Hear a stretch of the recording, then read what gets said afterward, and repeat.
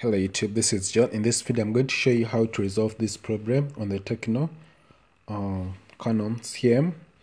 Uh, this was, I think they switched it on by pressing buttons here.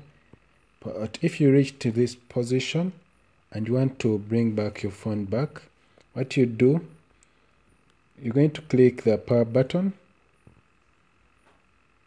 to see whether it will go back to but doesn't work. What you do I'm going to press the volume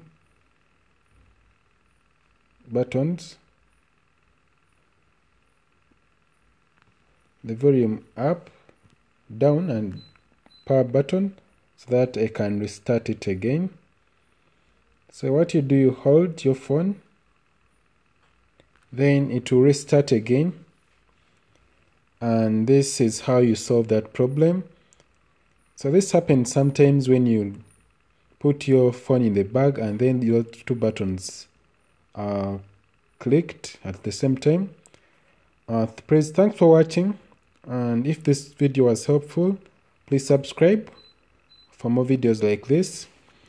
Uh, goodbye. So I hope this resolves your problem. This phone will restart and you start again.